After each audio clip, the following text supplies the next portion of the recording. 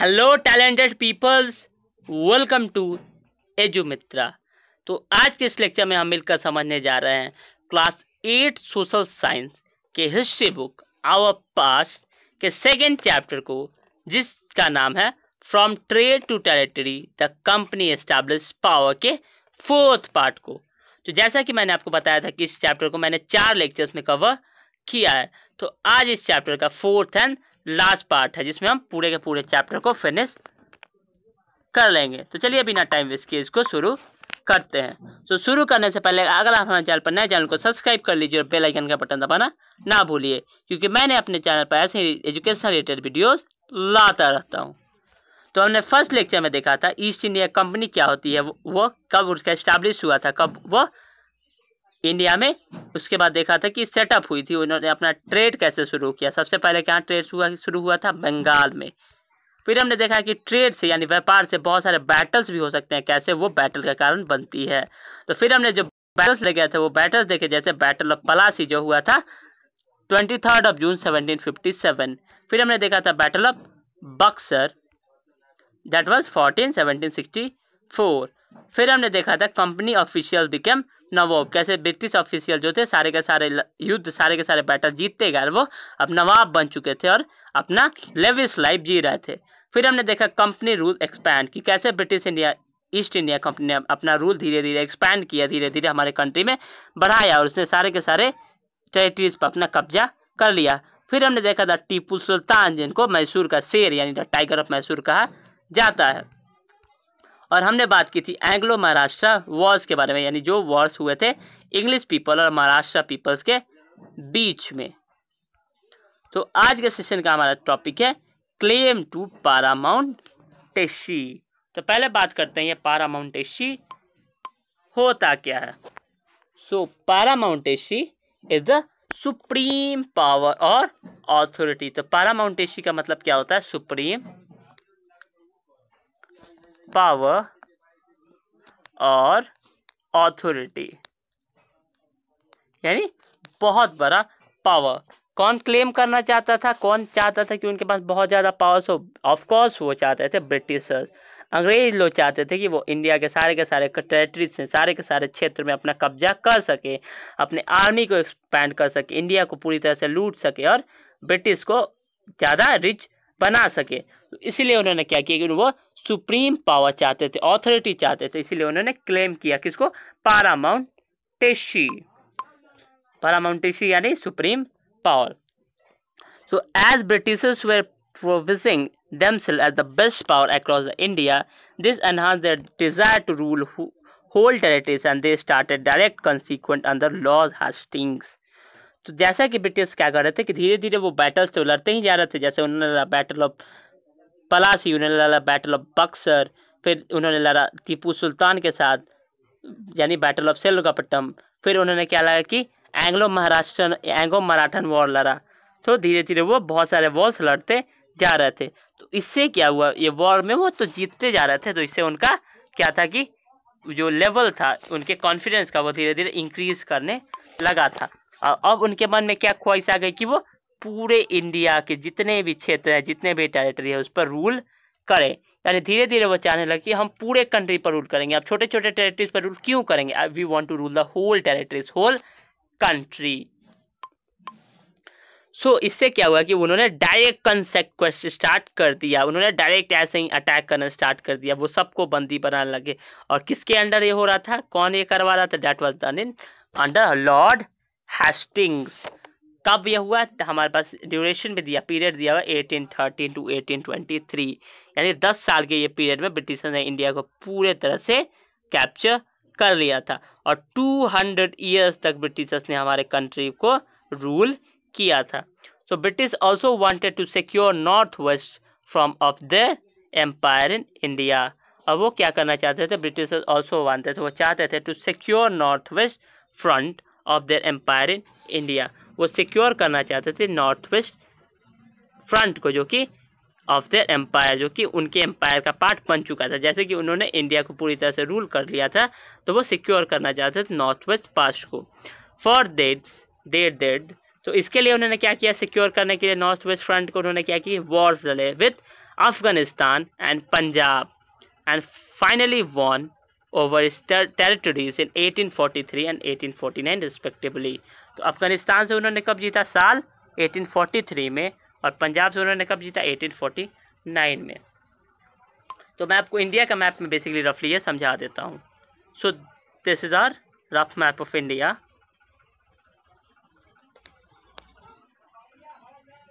so ये हुआ हमारा इंडिया का map this is north this is south this is east and this is west तो यहाँ हम किस डायरेक्शन के बारे में बात कर थे? हम ये direction that is north west तो this direction is known as north west और यहाँ कौन कौन सा यहाँ आता है? हमारा अफ़गानिस्तान, यहाँ आता है हमारा पंजाब. हियर इज़ गुजरात वगैरह. तो वो क्या करना चाहते थे? वो पंजाब, वो चाहते थे कि अपना सिक्योर करे एम्पायर अपने साम्राज्य को सिक्योर करे और कोई भी मनी उस पर रूल कर सके। तो इसके लिए उन्होंने क्या किया? हमला कर दिया लड़ाई या लड़े किससे किसको अपने कैप्चर में लाने के लिए पहले तो उन्होंने अफ़गानिस्तान को कैप्चर किया किस साल में? 1843 में। और फिर उन्होंने क्या किया? पंजाब को कैप्चर किया किस साल में? 1849 में। तो ये पार्ट जो था हमारा नॉर्थ वेस्टर्न पार्ट उन्होंने इसको कैप्चर करना शुरू कर दिया। सो so, अब आते हैं हमारे नेक्स्ट टॉपिक की और हमने यहाँ पढ़ा क्लेम टू पैरामाउंटेसी यानी कैसे ब्रिटिश ने सुप्रीम पावर यानी ज़्यादा पावर पाने के लिए, ज़्यादा शक्ति पाने के लिए कैसे बहुत सारे लड़ाइयाँ लड़ी, बहुत सारे युद्ध लड़ी, और इसका नेतृत्व, इसका लीडर कौन थे? लॉर्ड हेस्टिंग्स और ये कब हुआ था basically eighteen to eighteen twenty three और वो north western north west front में भी अपना एम्पायर अपना साम्राज्य को बढ़ाना चाहते थे, इसलिए उन्होंने वॉर्स लड़े लड़ाइयाँ लड़ी किसके खिलाफ? अफ़गानिस्तान और पंजाब। अफ़गानिस्तान से वो किस साल में जीते? 1843 और पंजाब से 1849 अब हम बात करेंगे हमारे नेक्स्ट टॉपिक के बारे में that is doctrine of lapse से यानी वेपगत का सिद्धांत। तो ये टर्म थोड़ा कॉम्प्लिकेटेड हो सकता है आपके लिए। एक बार मैं आपको समझा दूँगा तो आपको अच्छी तरह से क्लियर हो जाएगा कि ये पॉलिसी ये सिद्धांत, ये प्रिंसिपल है क्या। So under the region under the reign of Lord Dalhousie तो लॉर्ड डलहाउसी कौन थे? वो एक ब्रिटिश इंडिया ऑफिशियल थे। उनके अंदर क्या था? They adopted the policy of lapse तो उन्होंने इस लैप्से के पॉलिसी को अडेप्ट कर लिया। ये क्या कहता है? Basically according to this policy the rulers who does not have any legal heir could not pass on their property to the adopted son and it would be taken over by British तो ये क्या basically किस लिए था? Britishers क्या करते थे? India को लूटने के लिए उनका उन्होंने एक नया पॉलिसी बनाया था। तो ये क्या कहता है बेसिकली सपोज़ करो आप ये एक राज्य है हमारे कंट्री में। This is a kingdom in our country और ये किंगडम नाम दे देते हैं this is kingdom A this is kingdom B तो यहाँ भी कोई राजा होगा। और यहाँ भी कोई राजा होगा। सो so, हर एक राजा के पास अपना वेल्थ होगा, अपना टेरिटरी होगी, अपनी आर्मी होगी, वगैरह वगैरह। तो इस राजा के पास क्या हुआ कि इसने एक सन सन को जन्म दिया। इसका एक बेटा है, छोटा सा। वो आगे जाके धीरे धीरे बड़ा होगा। लेकिन इस राजा के पास कोई सन नहीं है, इस राजा के पास कोई बेटा नहीं है। तो इसने क्या किया? एक सन को अडॉप्ट कर लिया। क्योंकि पहले राजा क्या होता था कि राजा के मृत्यु के बाद अगला राजा कौन बनेगा अगर उनके पास बेटा होगा ही नहीं? तो इसीलिए पहले के राजा क्या करते थे? अपने घर में एक बेटा ज़रूर चाहते थे। तो इस राजा ने क्या किया? एक सन को अडॉप्ट कर लिया। यानी गोद ले लिया दूसरे से। सपोज़ करो कि ऑर्फनेज अनाथालय से एक बच्चे को गोद ले लिया। तो यहाँ ब्रिटिशर्स ने क्या किया? डॉक्टरिंग ऑफ़ लैपसेला तो इसके अकॉर्डिंग क्या है कि ऐसा रूलर जिसका कोई लीगल हेयर नहीं है। हेयर मीन्स वारिस। यानी किसी भी व्यक्ति, किसी भी इंसान का वारिस कौन होगा? उसका बेटा। तो यहाँ क्या हुआ कि किसी भी इंसान, किसी भी राजा का अगर कोई लीगल हेयर नहीं है तो वो अपने प्रॉपर्टी को सरपास नहीं कर सकता है। किसको नहीं दे सकता है? अडॉप्टेड सन को। यानी ये इसका बेटा है तो इसके बाद ये तो राजा बन सकता है। सारे का सारा जायदाद, सारा का सारा प्रॉपर्टी ये किंगडम इस बच्चे का हो जाएगा, जब ये बड़ा होगा, जब ये राजा बनेगा। लेकिन इस राजा ने क्या किया है? इस बच्चे को अडॉप्ट किया, इसको गोद लिया है। तो ये अपना प्रॉपर्टी इसको नहीं दे सकता है ये जाकर आगे इस राज्य का राजा नहीं बन सकता है। इसको राजा का कोई भी चीज़ों में अधिकार नहीं मिलेगा। ये कौन कहता है? ये कहता है हमारा डॉक्टरिंग ऑफ़ लैब्सेस जो पॉलिसी ब्रिटिशर्स ने हमारे कंट्री में लाया था। और अब क्या होगा? बेसिकली कि ये राज्य ए जो था, उसका तो नया राजा बन गया, उसका बेटा, अपने पिता के बाद। लेकिन राज्य बी जो था उसके बेटे को बेसिकली कुछ नहीं मिला। उसको वहाँ से निकाल दिया गया उसको वहाँ से भगा दिया गया। और ये जा, जो राज्यपाठ था इस पर कुछ क्या कब्जा हो गया इस पर कब्जा हो गया ब्रिटिशर्स का। तो ब्रिटिशर्स ने बेसिकली अपने फ़ायदे के लिए ही बनाया था। कि क्या होगा कि अगर कोई राजा का लीगल वारिस नहीं होगा तो अगर कोई उसका अडॉप्टेड सन होगा तो उसको कोई भी उसका प्रॉपर्टी नहीं दिया जाएगा। और ये प्रॉपर्टी किसका हो जाएगा? ये प्रॉपर्टी हो जाएगा ब्रिटिश ऑफिशियल्स का। यानी ब्रिटिश लोग इस पर अपना आधिपत्य अपना कब्जा कर लेंगे और जो अडॉप्टेड सन है उसको इसमें कोई हिस्सा नहीं दिया जाएगा। हिस्सा तभी मिलेगा जब वो राजा का खुद का बेटा हो। सो सतारा 1848, Sambhalpur 1850 and Jhansi in 1850 were annexed by this policy. तो अब क्या हुआ? 1848, 1850 और 1854 में तीन जगह में क्या था? सटारा संबलपुर एंड झांसी में ऐसा ही सिचुएशन आया कि राजा तो थे लेकिन उनका कोई अपना लीगल हेयर नहीं था अपना कोई सन नहीं था। तो उन, उन्होंने या तो उनके पास सन ही नहीं था डॉटर्स थी और या उन्होंने सिर्फ़ बेटी थी या उन्होंने अडॉप्टेड को लिया था। तो वहाँ क्या हुआ? बेसिकली ब्रिटिशर्स क्या कहने लगे कि अब आप यहाँ के राजा नेक्स्ट अपने अडॉप्टेड सन को नहीं बना सकते हो। इसीलिए आपको ये प्रॉपर्टी ब्रिटिशर्स को देना होगा। तो इसी पॉलिसी के कारण उस राजा को ब्रिटिशर्स ने उन पर हमला कर दिया उसको पूरी तरह से लूट लिया और वो उन्होंने अपना कब्जा जमा लिया और अपना राजपाट वहाँ चलाने लगे। तो ये था basically doctrine of lapse lapse से। तो ये बेसिकली बहुत इंपॉर्टेंट टॉपिक्स है आप आगे जब जाओगे कॉम्पिटेटिव एग्ज़ाम्स में जब यूपीएससी प्रिपरेशन में तो उसमें भी बहुत बार से क्वेश्चन आते हैं। तो ये टॉपिक आप याद रखना ये अब बहुत इंपॉर्टेंट टॉपिक है। सो so, तो एक और सो क्वेश्चन आ सकता है बेसिकली कि डॉक्टरिंग ऑफ़ लैप से किससे कनेक्टेड है? किससे जुड़ा हुआ है? तो आप ये याद रखना that is connected with the revolt of eighteen seven जो कि लड़ा गया था। यानी जो रिवॉल्ट हुआ था, जो लड़ाई हुई थी, उससे ये कनेक्टेड है कौन? डॉक्ट्रिन ऑफ़ लैब से तो यह बेसिकली अच्छे से याद रखना। तो पहले हमने क्या देखा था? बैटल ऑफ़ पलासी हुआ, फिर हमने क्या देखा था? द बैटल ऑफ़ बक्सर हुआ, फिर हमने क्या देखा था? Tipu Sultan the war of the battle of Seringapatam फिर हमने क्या देखा? मराठा एंग्लो मराठा वॉर और अब हम क्या देख रहे हैं? डॉक्ट्रिन और लैप्स में एक और वॉर देख रहे हैं एक और रिवॉल्ट देख रहे हैं एक और लड़ाई है दैट इज़ रिवॉल्ट ऑफ़ 1857 यानी अठारह की लड़ाई। सो so, अब हम इस चैप्टर के लास्ट टॉपिक से डील करने जा रहे हैं। फाइनली हमारा चैप्टर खत्म होने वाला है। So administration under British so history section में बहुत लोगों को प्रॉब्लम होती है कि उन्हें बेसिकली बहुत सारे लोग बोर्ड हो जाते हैं। तो इसलिए हमने क्या किया कि इसको पार्ट वाइज डिवाइज कर दिया कि आपको आसानी से इसको समझ में आ सके। तो अगर आपको कोई प्रॉब्लम हो तो कमेंट सेक्शन में आप ज़रूर बता सकते हैं। हम कोशिश करेंगे कि उसका आंसर आपको इमिडिएटली दे सके। So in seventeen seventy three यानी सत्रह सौ तिहत्तर में क्या हुआ? वैरन हेस्टिंग्स हमने क्या पढ़ा था? लॉर्ड हेस्टिंग्स के बारे में पहले पढ़ा था वैरन हेस्टिंग्स में, जिन्होंने क्या किया था? लीड किया था। वो लीडर था किसके? ब्रिटिश ऑफिशियल के, जो क्या चाहते थे, वो इंडिया पर रूल करना चाहते थे। तो ब्रिटिश जो रूलर थे, क्या थे? जो ऑफिशियल थे वायरन हैस्टिंग वो, उनको क्या किया गया?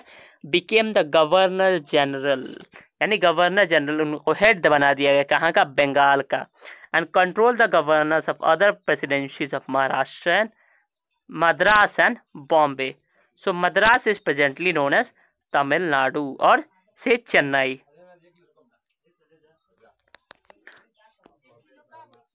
and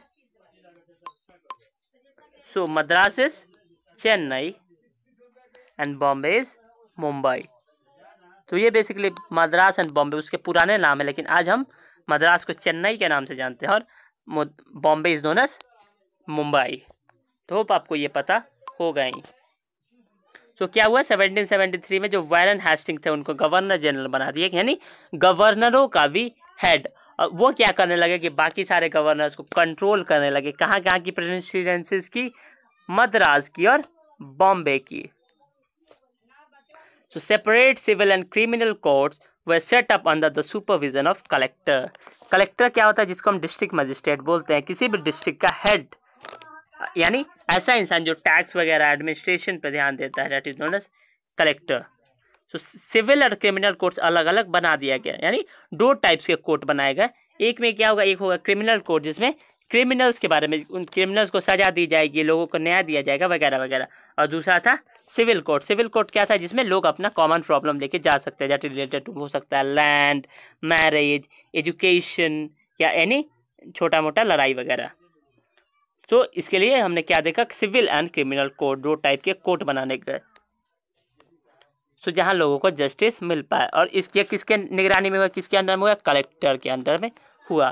So new set of laws were compiled by muftis and Brahmins for the religious interpretation तो इसके बाद क्या हुआ कि अलग अलग टाइप के लॉज बनाए गए अलग अलग टाइप के नियम बनाए गए। किसके? मफ्टीज द्वारा ब्राह्मण्स द्वारा ब्रिटिशर्स द्वारा, वहाँ के कलेक्टर्स द्वारा गवर्नर जनरल द्वारा, जिससे कि वहाँ का जो एडमिनिस्ट्रेशन है वो और एफिशिएंटली चल सके। और रिलीजियस मैटर्स में भी कोई इंटरप्रेशन हो सके, लोग उसको अच्छे से समझ सके। तो यहाँ देखा हमने कि ब्रिटिशर्स के अंडर में एडमिनिस्ट्रेशन कैसा हुआ, यानी ब्रिटिशर्स ने काम काज कैसे किए, कैसे वन हेस्टिंग्स को क्या बना दिया गवर्नर जनरल बंगाल का बना दिया गया, और वो कंट्रोल करने लगे, किसको? अलग अलग प्रेसिडेंसीज के गवर्नर को यानी governor of Madras governor of Bombay वगैरह वगैरह वहाँ अलग अलग कोर्ट बना दिया गया एक सिविल कोर्ट जहाँ आम प्रॉब्लम्स का हल मिलेगा एक था क्रिमिनल कोर्ट जहाँ क्रिमिनल्स को सज़ा मिलेगी और विक्टिम्स को जस्टिस मिलेगा।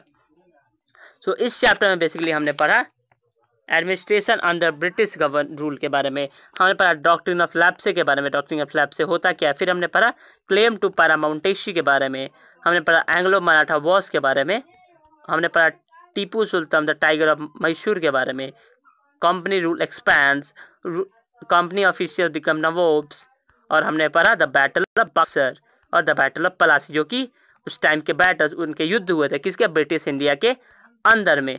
और हमने पढ़ा कि ट्रेड, व्यापार से कैसे बैटल हो सकता है। और पहले हमने क्या पढ़ा था, फ़र्स्ट लेक्चर में, कि कैसे ईस्ट इंडिया कंपनी हमारे कंट्री में आई कैसे उन्होंने बंगाल में अपना सेटअप इस्टेब्लिश किया और कैसे वो इंडिया को कैप्चर कर सके। तो अगर आपको कोई भी इस टॉपिक में कोई भी प्रॉब्लम हो तो आप कमेंट में बस टॉपिक का नाम लिखिए और आप लिख सकते हैं कि sir I have doubt in this topic I will try to make a lecture separate lecture in that particular topic मैं कोशिश करूँगा कि इस पार्टिकुलर टॉपिक पर एक नई वीडियो ला सकूँ और आप उसको अच्छे से क्लियर कर सकूँ। सो so, आज के लिए बस इतना ही। मिलते हैं अगले लेक्चर में किसी और एजुकेशन रिलेटेड टॉपिक के साथ। तो till then stay creative keep learning and most of all have fun तो अगर आप हमारे चैनल पर नए चैनल को सब्सक्राइब कर लीजिए बेल आइकन का बटन दबाना ना भूलिए, क्योंकि मैं अपने चैनल पर ऐसे एजुकेशन रिलेटेड वीडियोस लाता रहता हूँ। So thank you for watching see you again bye bye